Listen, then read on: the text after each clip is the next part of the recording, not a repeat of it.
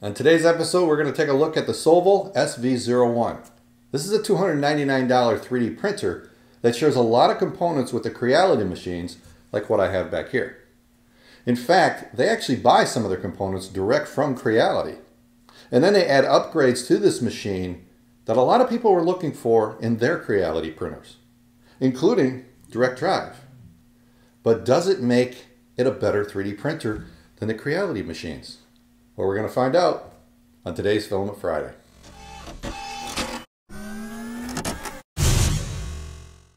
Filament Friday is brought to you by these Patreon supporters.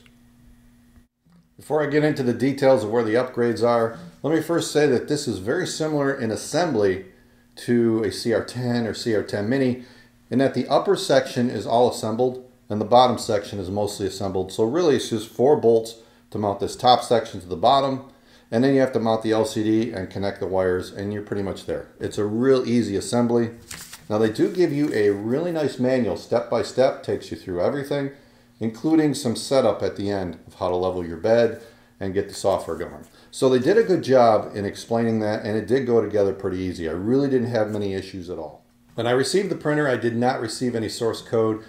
They were not releasing it. I explained to them, you're running Marlin, you need to release the source code. They agreed. So they're working on releasing that to the public, and they did send me a copy of it that I can't share, but at least I could see what was in it. And it is indeed running Marlin 1.1.6. So I'm releasing this video with their promise that they're going to release the source code to the public and meet the Marlin requirements. Now when I looked over the source code, I saw that they had thermal runaway protection enabled along with several other features that are in the menu. So it told me they probably are running a higher memory board. Turns out that was the first upgrade.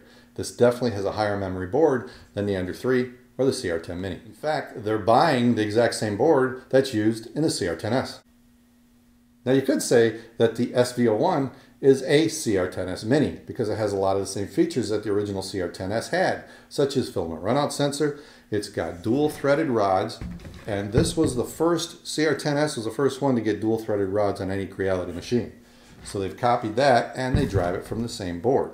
Now I took the threaded rod off of mine because I didn't like the way it was driven. Sometimes the motors would jump and I'd have the level thrown off. So I reduced down to a single threaded rod like a CR10. So it'll be interesting how well this one performs. This one has a glass bed just like the CR10S, only this one includes like an ultra base top. It's a clone. I ended up just flipping it over most of the time just using glue because I didn't find it worked that great. But they do include the glass bed, which makes it much more level than, say, an Ender 3. Some people have complained that their, their bed's a little bit warped. I also found the performance with that glass bed is actually better than what I was getting in my CR10S. I'm not seeing any ringing, any ghosting. I'll show you that in the prints. The biggest difference then is really this direct drive. And I was kind of excited about it because I want to print the really flexible materials. Specifically, I like to try out the Ninja Flex. That's the real rubbery stuff. It's pretty difficult to print on most printers. Although I did use the EZR extruder and get it to work on my Ender 3, I was curious how well it would print on this direct drive extruder.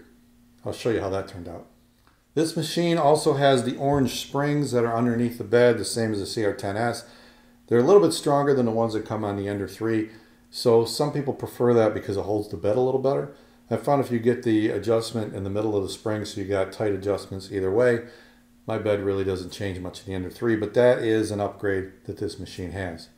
The other thing this has that the CR10S doesn't have is integrated electronics built right into the bottom case. So it's an all-in-one printer. Everything comes with you versus a CR10S where the box is totally separate. The electronics are here. It's a little harder to move around. So that's a nice feature. Now it does make the SD card a little harder to get to in the front, but the on-off switch is right here in the side versus in the back. I like that a lot better. The build area is 280 millimeters by 240 millimeters by 300 millimeters tall, which is very similar to a CR10 Mini, just laid out slightly different. It's definitely bigger than an Ender 3. I laid my Ender 3 Pro magnetic bed on top of it here, and you can see you have a lot bigger build area on this printer. I took the cover off the bottom of the printer and that exposed the electronics. It was like 12 screws to take off. You can see the circuit board, a blower or cooling fan, and then the power supply. When I focus on the board, you can see it's an actual Creality version 2.2. I'm pretty sure this is the one used in the CR10S. And it's got a ATmega 2560 So it's the larger microcontroller with more I.O. and more memory. So 256K of space. Plenty of room for the full Marlin. Also included is a Meanwell power supply, 24 volts, 14.6 amps. So it's a decent power supply. I believe it's a similar one used in the Ender 3 Pro. They do include 200 grams of white PLA to print with, so it's nice, pretty decent size roll. And they only give you one sample file to print. So I used this in the first prints, and you'll see it didn't turn out that great. The Z height switch is mounted separately, that comes separate. You mount with these two screws and tighten it up. And it is adjustable. You can move it up and down on the rail. And this is nice because you can get your bed leveled so the springs are pretty tight, but in between movements. So I did adjust this before I leveled my bed. I leveled the bed and then I started printing the sample print. There's only one and it starts to print out a raft. And after it gets the raft down, it was pretty smooth. The raft went down good. It started to print a calibration cube. And I let this print until it was close to finished. And then I decided to cut the filament. But look at the light stayed on. It still thinks there's filament. So something was wrong in the sensor. It was stuck, and it actually was because I went back and wiggled a piece of filament in it, and then its light went off, and it gave me a change filament error. So I let it finish printing, and it did run out of filament. I didn't. I cut it too uh, short, but it just didn't look that great. It was kind of rough, and of course the top, like I said, I ran on a filament, but it just is not smooth for a first print, especially it's their sample print, so they sliced it. So I decided to print my calibration cube, the CHEP calibration cube, with that same filament that was included. And it just looks rough. And my CHEP pawn looks terrible. I tried printing a benchy, but it broke off the bed. And this is when I flipped the glass over and started using glue and glass. And then I just decided to use Atomic's uh, candy apple red filament, and it started printing a lot better. This was a lot better. Although the CHEP pawn still didn't look great. It was better, but not great. The Benchy looked better, but a lot of stringing. And I had retraction set way high. I used retraction settings for an Ender 3. I should have had under extrusion, not this. So here they are next to each other, and clearly Ender 3 prints were a lot better. I did try some PETG. I didn't see a major difference between the two. These are fan ducts I printed, so it did print that fine. One area I was really impressed on the CHEP Cube, there's no ghosting, no vibration showing up on the y-axis. When you have a glass bed that's moving, you tend to get ghosting or ringing because of the weight moving back and forth. The one on the left is an Ender 3 with a without glass. The one on the right is Ender 3 with glass. So I'm getting ringing there. But look at the Sovol SV01. It's a glass bed moving back and forth. No ringing, no ghosting. This is impressive. They got their acceleration and jerk settings just right. I just want to know what was inside this hot end because it wasn't performing as I expected.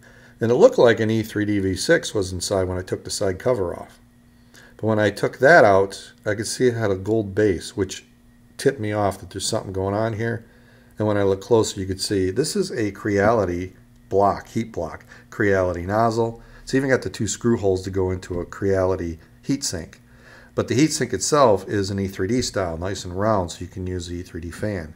And then it's got this plastic piece on top that goes up between the gears, but the bottom of it spreads out like an upside down funnel. And that's where I had problems with flexible materials.